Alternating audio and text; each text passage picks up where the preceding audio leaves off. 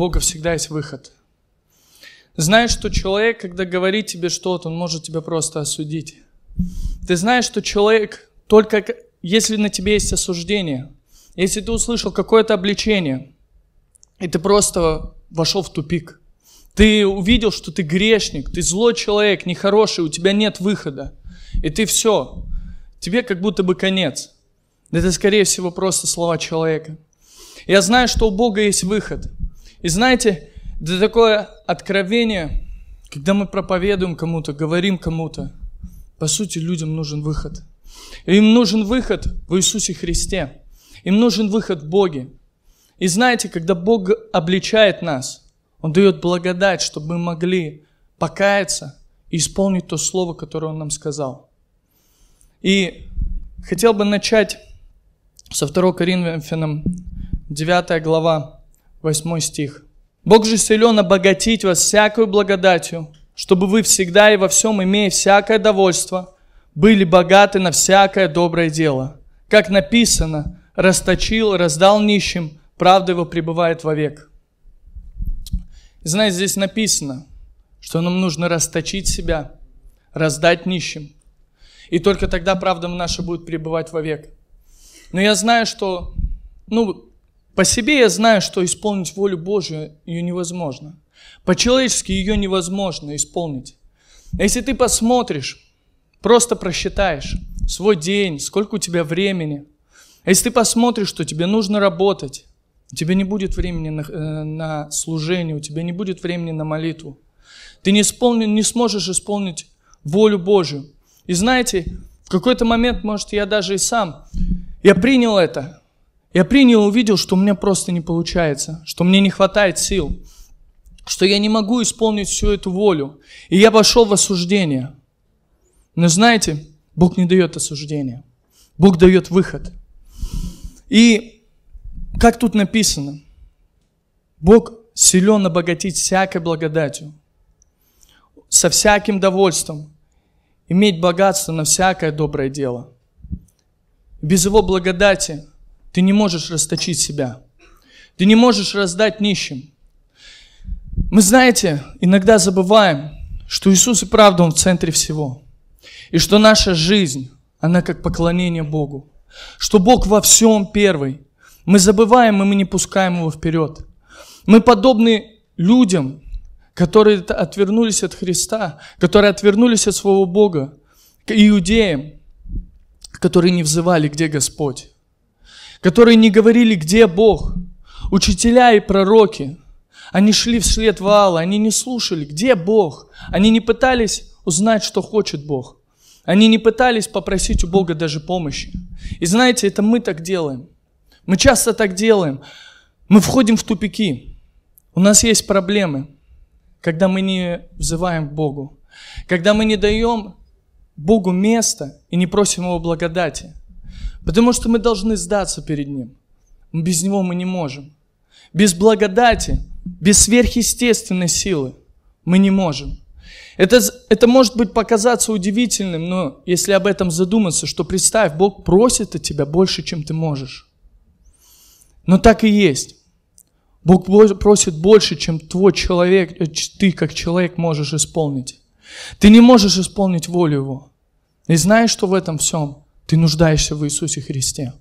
Ты нуждаешься в благодати Божьей.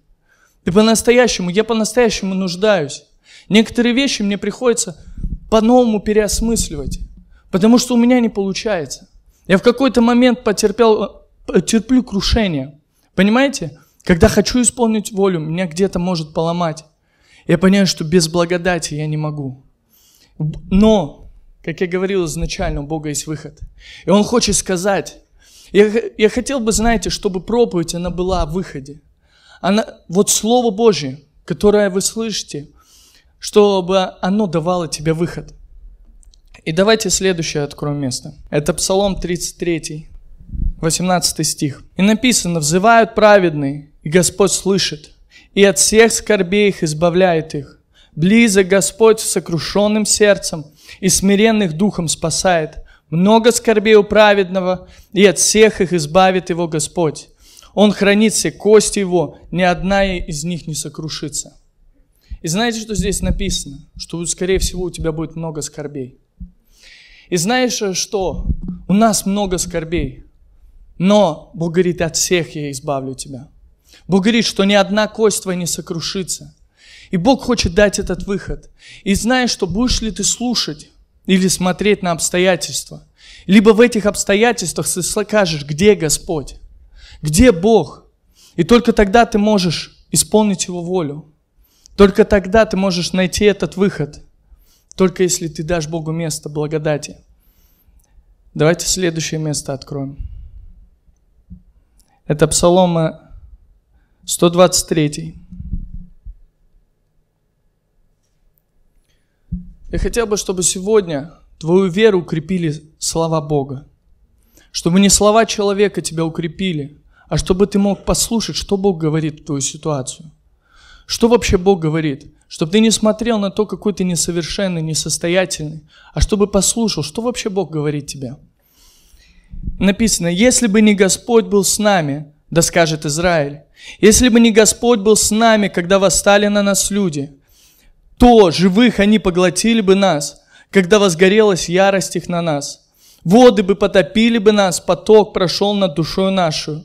Прошли бы над душою нашу воды бурные. Благословен Господь, который не дал нас добычу зубам их. Душа наша избавилась, как птица из сети ловящих. Сеть расторгнута, и мы избавились. Помощь наша в имени Господа, сотворившего небо и землю. Я сегодня хотел бы сказать, что Бог не дал, нам, не дал нас в поругание другим людям. Я верю, что Бог уже от многих бед избавил нас. И знаешь, что написано еще, что пройду долину смертной тени, я не убоюсь зла. Господь со мною, Его жезл, Его посох, они поддерживают меня. Знаете, что это обозначает? Что когда ты идешь долину смертной тени, тебе нужно вспомнить, что Бог множество раз спасал тебя. И что ты вообще дожил до этого момента. Должен вспомнить, сколько раз Бог давал тебе какие-то обетования, обещания. Знаете, очень сложно, когда ты по-настоящему проходишь долину смертной тени, когда как будто внутри тебя пустота, и как будто бы ты один, и никто тебе не поможет. Вообще никто тебя не понимает. Очень сложно вспомнить, что Бог обещал тебе. Очень сложно поверить, что вот то, что Бог обещал, оно исполнится в твоей жизни. В эти моменты очень сложно вспомнить и поверить. Но знаете, в этом и есть наша вера, что когда у тебя ничего не получается, когда на, тебя надвигаются проблемы, когда ты в грехе, когда ты не можешь исправиться, ты по-настоящему, возможно, плохой человек. Тебе нужно послушать, что Бог говорит. И поверить, что это слово, оно исполнится сегодня в твоей жизни. Когда ты одинок, когда тебе никто не поможет, когда тебя никто не понимает, когда ты никому не нужен. Давайте следующее место откроем.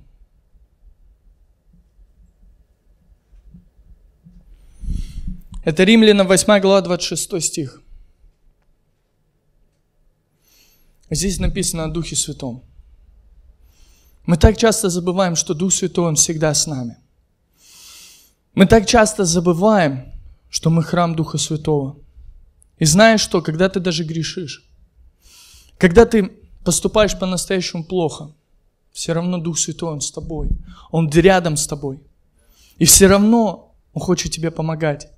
И знаете, что тут написано? 26 стиха. «Также и Дух подкрепляет нас в немощах наших, ибо мы не знаем, о чем молиться, как должно, но сам Дух ходатайствует за нас воздыханиями неизреченными. Испытывающий же сердца знает, какая мысль Духа, потому что Он ходатайствует за святых по воле Божьей.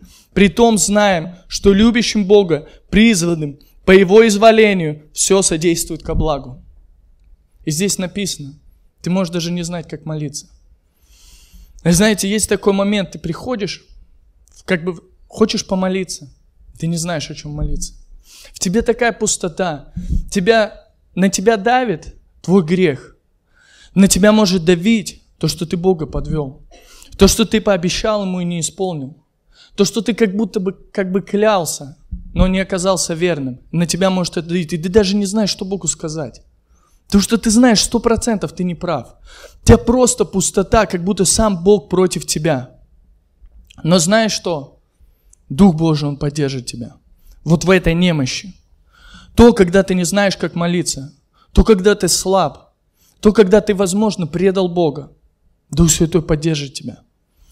Он поможет тебе молиться. Взывай, обращайся, Дух Святой – это личность. И Он рядом с нами.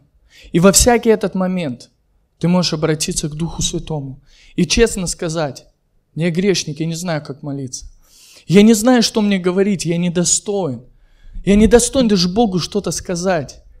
И Дух Святой, Он поможет тебе. И знаешь, что самое прекрасное? Что любую даже проблему, любое твое проклятие, любое падение, Он в силах использовать во благо тебе. Он может перевернуть по своей воле, потому что это всемогущий Бог. Он может перевернуть твои проклятия в благословение. В твои неудачи Он может перевернуть в победы. Потому что для Него нет ничего невозможного. Это и есть твоя вера. Знаешь что? Тебе есть такое, я слышал выражение, что тебе не нужна сила, но тебе нужен Дух Святой. Мы иногда хотим так силы Божьей, чтобы она как что-то чудесное на нас сошла, и чтобы как бы даже воды перед нами расходились, все проблемы рассыпались. Но на самом деле тебе нужен Дух Святой, потому что у Него вся сила.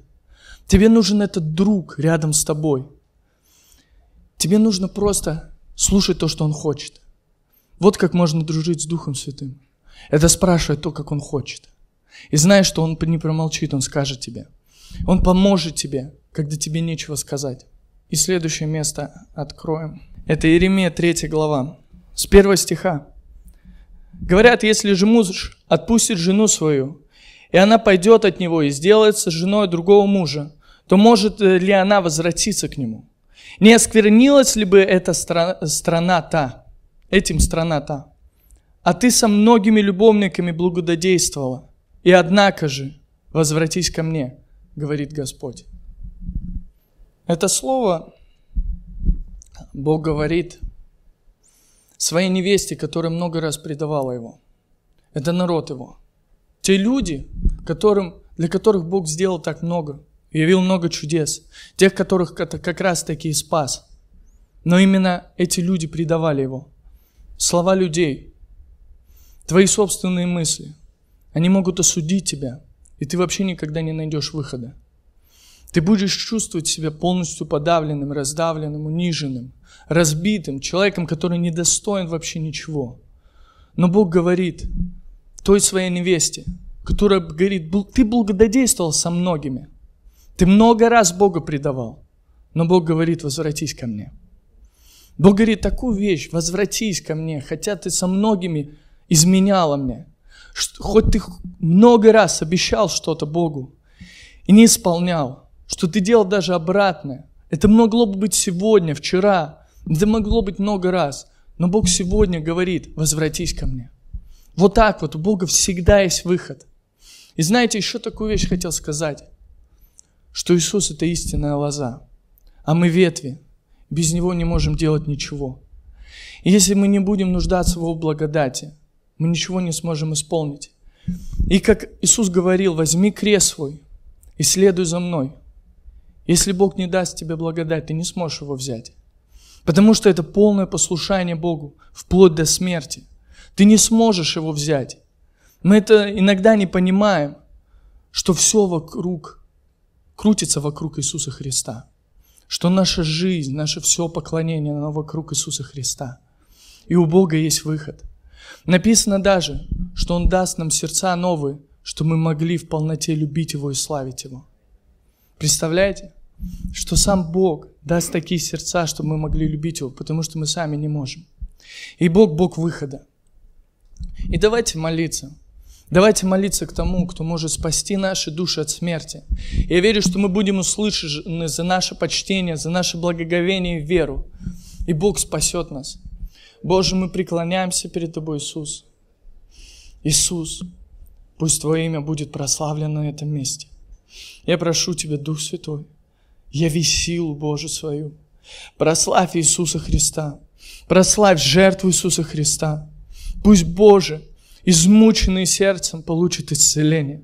Я прошу Тебя, пусть такое чудо придет, что нищие услышат благую весть, добрую весть, весть спасения Божия, что слепые Божии, они получат прозрение, что Боже, узникам будут проповеданы открытые темницы и пленным освобождение. Я прошу, Боже, дай нам увидеть лето Твое благоприятное. Я прошу, Иисус, прославься. Иисус, будь прославлен. Дух Святой, я прошу, проговори каждому. Пусть это будет слово выхода. Пусть это не будет слово тупика, Боже. Но я прошу Тебя, проникни вглубь нашей души, нашего Духа, Боже, проговори свое слово. Пусть в нашем Духе будет слово изреченное Богом.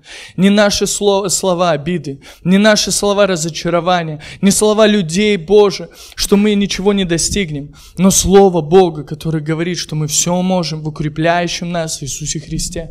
Я прошу Тебя, Боже, пусть будут раскрытые темницы, раскрытые темницы во имя Иисуса Христа. Пусть каждый человек познает Тебя, Боже, покажи ему, Боже, любовь свою во имя Иисуса Христа. Аминь.